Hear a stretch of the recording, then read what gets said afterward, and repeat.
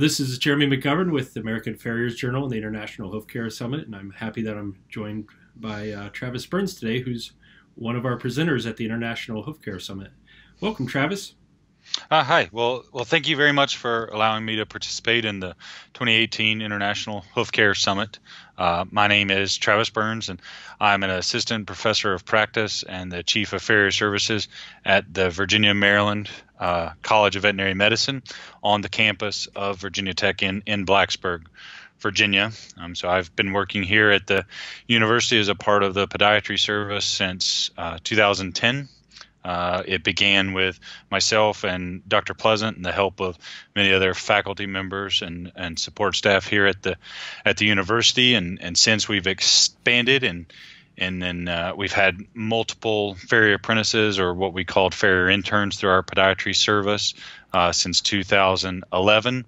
But most recently in 2017, we uh, hired uh, an associate farrier, Paul Papadatos, to join us in a, in a full time role here um, at the university. And we also currently have uh, two farrier trainees in the advanced farrier certificate training program here at the college, which is a, a, a unique uh, one year training program for, for farriers who want to focus on uh, therapeutic type type shoeing uh, in their, their own private practices uh, one day. And so we have two participants uh, there that will be with us through through 2018, and and then obviously we'll be looking for more in 2019.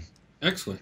Now let's talk a little bit about uh, the lectures you'll be presenting, and uh, let's start. Uh, you'll be doing two this year as well as a roundtable. Tell us about your white line disease presentation. Yeah. So my white line disease presentation uh, will will cover cover many things. So obviously, white line disease is one of the the most popular cases we're presented with here here at the university.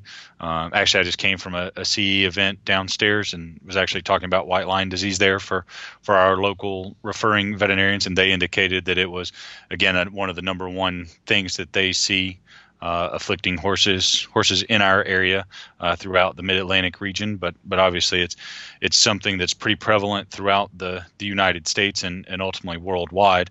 Um, but it's one of the the more frustrating disease path pathologies because it's uh, a bit unknown as to you know its entire etiology. We have obviously a lot of um, suspicions and a lot of hypotheses, um, but but we do notice that you know, obviously through debridement and treatment and the and the work of primarily a, a, a team consisting of the farrier and owner um, can resolve the majority of white line disease cases. But when they become progressive or or refractory to routine uh, treatments, um, it's very often that we incorporate uh, a veterinarian into the group or into the team, or even a, a specialty uh, farrier into the into the team um, to work to resolve it. And so, uh, for my talk at the summit, um, I will discuss the the etiology or the etiopathogenesis of laminitis, or some of the theories that are out there, some of the uh, the exact types of microbes that have been implicated um, as to to causing or, or, resulting in in white line disease, um, the anatomy involved.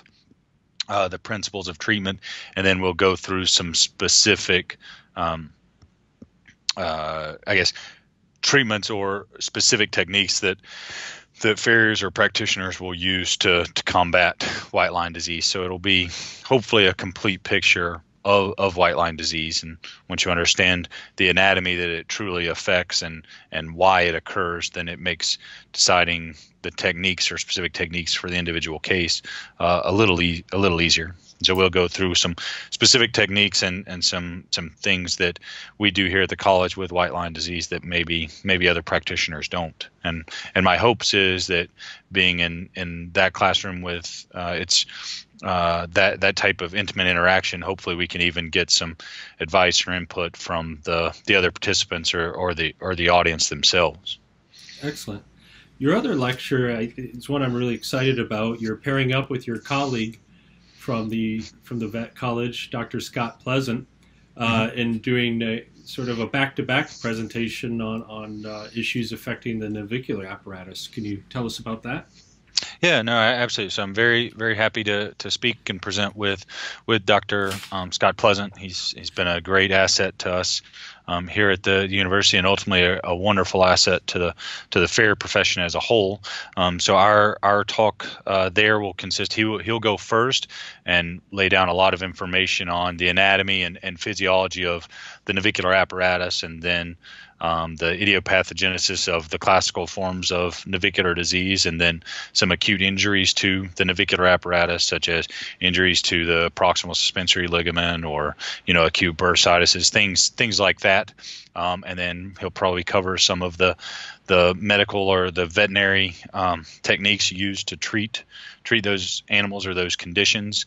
And then in the second part, uh, I'll be very excited about it to to talk about specific um, shoeing techniques or trimming shoeing techniques that that a farrier will utilize, and then also cover some of the ways um, that uh, a farrier uh, contributes to the team or the way a, a, farrier works or interacts with with a veterinarian as as part of a team in the ultimate care of of the horse. So and, and I'm sure Dr. Pleasant will cover um, various things of the the team aspect within his his lecture as well. But but the big take home messages will be how to work together as a vet farrier team. We're obviously going to use navicular injuries to the navicular apparatus to to discuss those those things, and then you know we'll talk about the anatomy and physiology of the navicular apparatus, the etiopathogenesis of nav- true classical navicular disease acute injuries to the navicular apparatus or the palmar half of the the foot, and then we'll specifically go through the principles of treatment from both a, a, veterinarian aspect and ultimately the farrier aspect of trimming and applying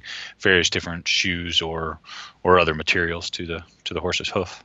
Yeah, and uh, this lecture is going to be on Friday, uh, Tuesday evening, we'll have a roundtable. Uh, Ali Hayes of Horse Science is kind enough to operate three separate tables with with lectures, and you'll be uh, doing one with some of her models and and previewing that talk for Friday. So it's a, a really great opportunity for everybody uh, to certainly network with Travis and, and get a preview of, of the, this talk.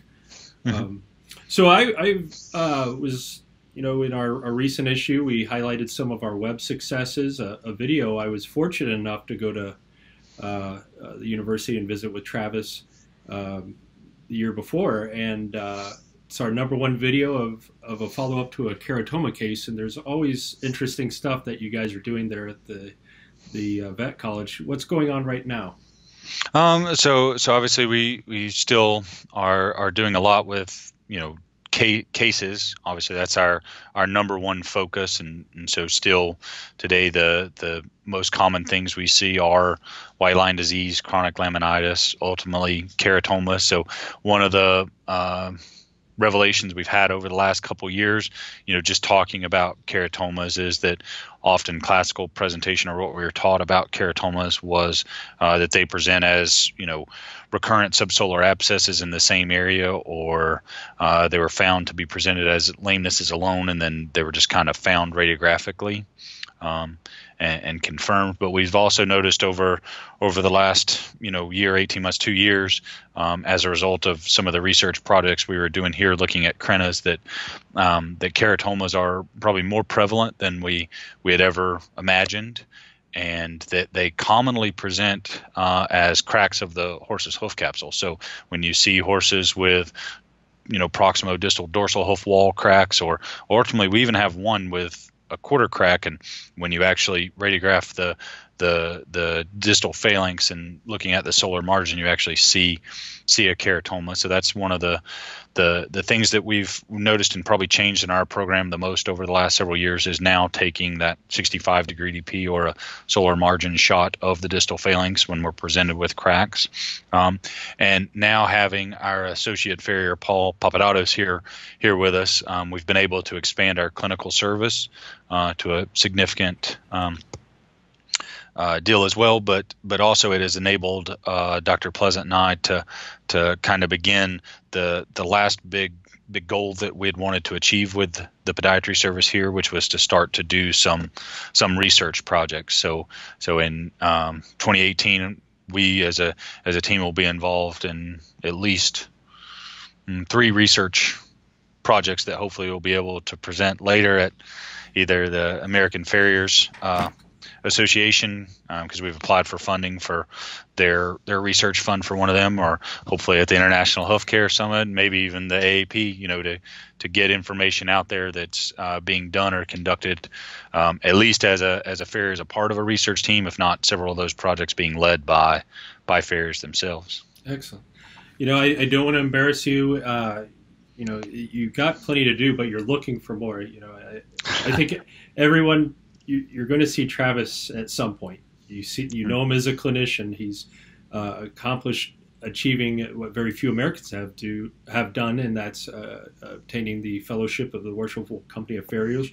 You'll see him at the uh, uh, the World Horseshoeing Classic. So I, I, think Travis is always, in my mind, one of the most complete, well-rounded farriers. But you're uh, kind of pursuing another challenge this year.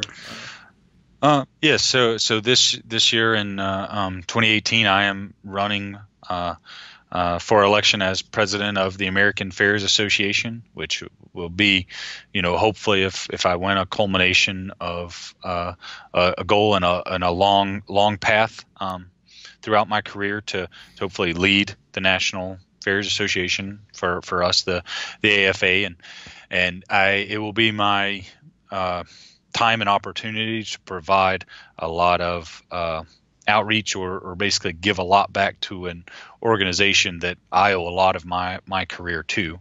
Um, so with, without the AFA, I, I don't know that I would have accomplished a lot of the things that I have. I don't know that I would have been able to you know, ex- be accepted as uh, a member of a faculty here at the university. I don't know if I would have ever even gotten the initial staff job without the the AFA. I, I never would have met my mentor Paul Goodness and and other other great mentors like Andy Henderson with without the AFA. That's ultimately how I contacted and met met all those individuals. That's how, you know, I interacted with and met all sorts of different farriers throughout throughout the industry. I mean, the the AFA often gets uh, the rap or the stereotype that it's a bunch of hammerheads or a bunch of contest jurors or, or forgers and and my my vision of that or my experiences with that are, that is not not true at all. I mean, I've encountered glue-on farriers to you know other faculty farriers at, at, universities like Mike Wildenstein, who's been an idol of mine forever. I first met him through the AFA, and